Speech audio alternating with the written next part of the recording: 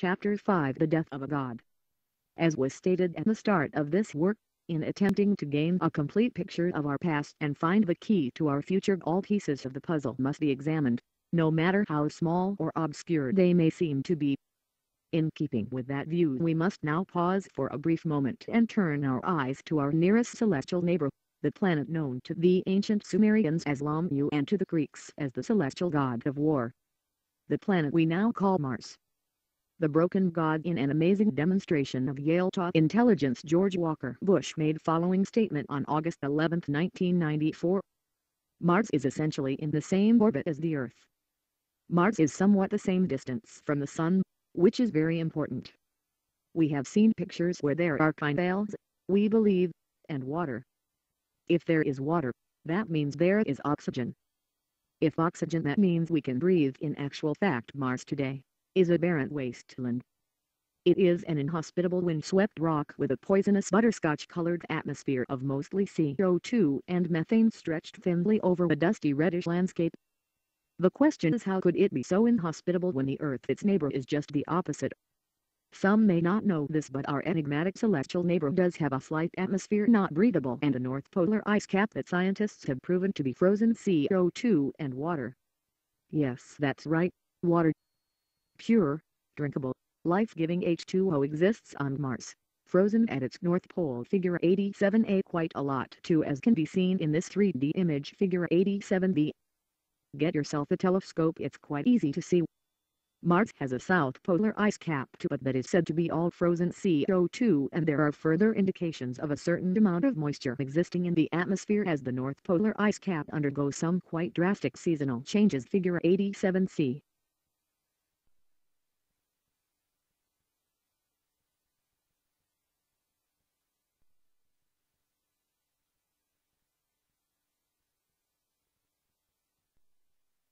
Mars also bears some dramatic evidence of former ocean beds, vast river systems and a period of catastrophic global flooding. Of course the planet is barren, dry and wind-swept now but the evidence still remains. Everywhere across the surface we can still observe the signs of rivers, lakes and even islands. In fact all the telltale signs of water erosion are still very easy to see on the planet's surface today figure 88.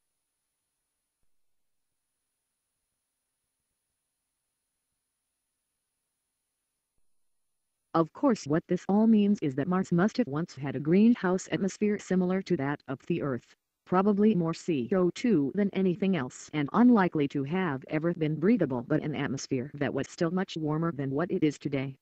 Nonetheless, Otherwise the water would have always remained frozen at the poles and we would not see all the evidence of erosion that is still visible on the surface. The question is thus raised, it is quite obvious that Mars once had an atmosphere of sorts and a great deal of water on its surface, so where did it all go? Why is Mars now so desolate? Sometime in the past it appears that the planet somehow lost its ability to retain its warmth and lost all of its atmosphere. In the process it also lost all of its abundant water and oceans which either disappeared into space or seeped underground to lie locked and frozen beneath the surface. What could have happened? The answer to this question may well lie in the visible geology of the planet because there is every indication that Mars recently suffered an enormous catastrophe on quite a global scale which caused enough damage for it to physically lose its atmosphere and a good deal more besides. Of course, when I say recently I mean sometime in the last few thousand to few hundred thousand to few million years, which, in astronomical terms, is really just the other day. The dragon whips its tail. The most interesting and very unusual feature that is quite unique to Mars is that the top section of the planet is divided from the bottom section by an enormous jagged and uneven cliff that stretches around the entire planet. There are no breaks in this cliff. It goes all the way around. The top section of the globe is sparsely cratered lowlands and the bottom is heavily cratered highlands. This provides us with an instant clue these highland and lowland sections of the planet are large enough to be described as each taking up an entire hemisphere of the planet's surface but are not at all defined by the hemispheres of the globe with the unbroken cliff that separates the two, running around the planet at roughly 35 degrees to its axis. Get the picture? It's kind of like looking at an orange with the top half of the peel roughly torn off while the skin still remains covering the bottom half. This of course gives us every indication that a reasonably large chunk of the planet's crust is somehow missing from the top half of the planet. This distinguishing separating feature on the Martian surface is known by scientists as the line of dichotomy figure 89.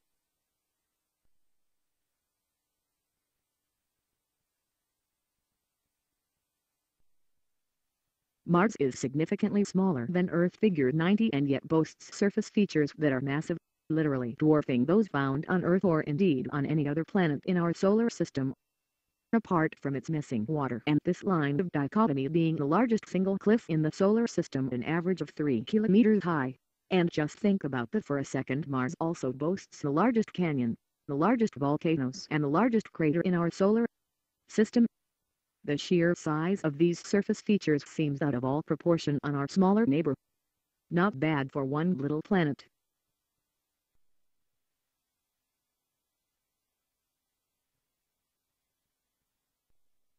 When I say these volcanoes are large I mean really huge.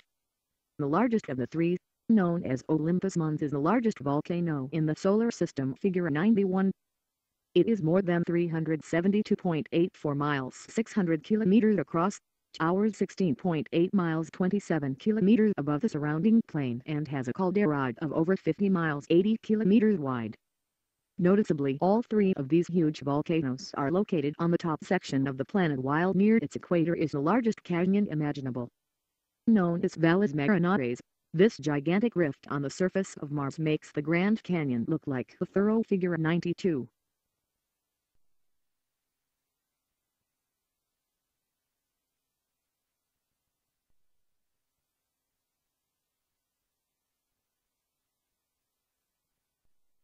Some of the slopes and cliffs look quite gentle and scalable in this mosaic of the Chasma area in Valles Marineris looking from north to south figure 90 to be made from images from both the Viking orbiters but it must be understood that this trench is a whopping 5 to 7 kilometers deep split in the Martian surface, an enormous rip, stretching to a gaping 200 kilometers across.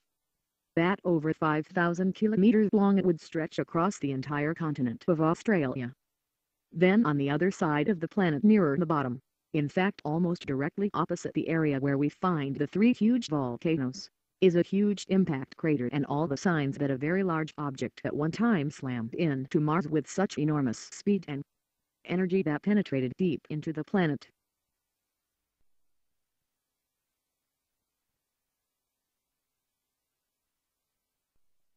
Do you see where this all leads?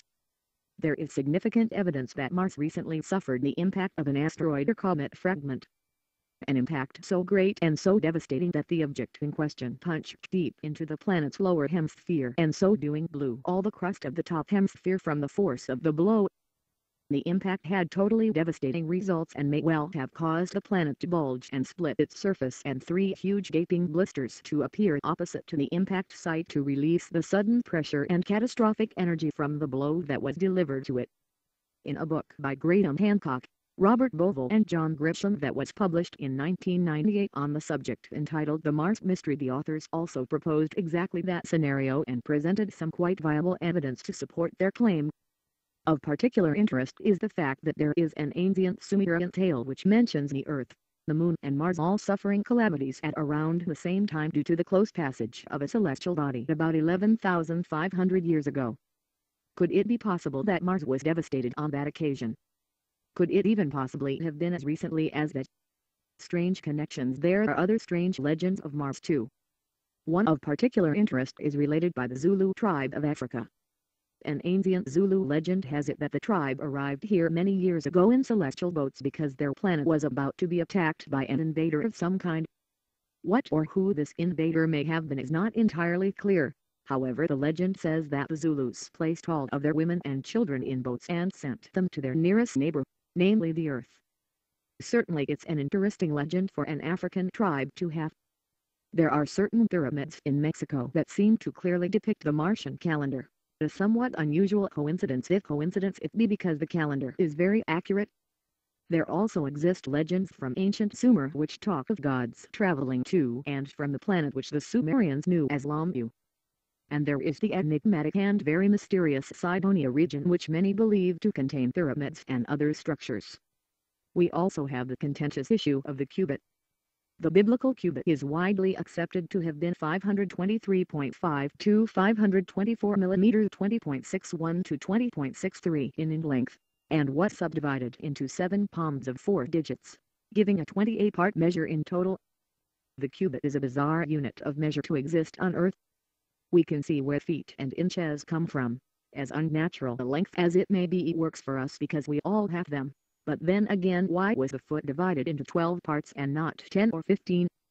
We have 10 fingers and 10 toes divided into groups of 5 digits after all.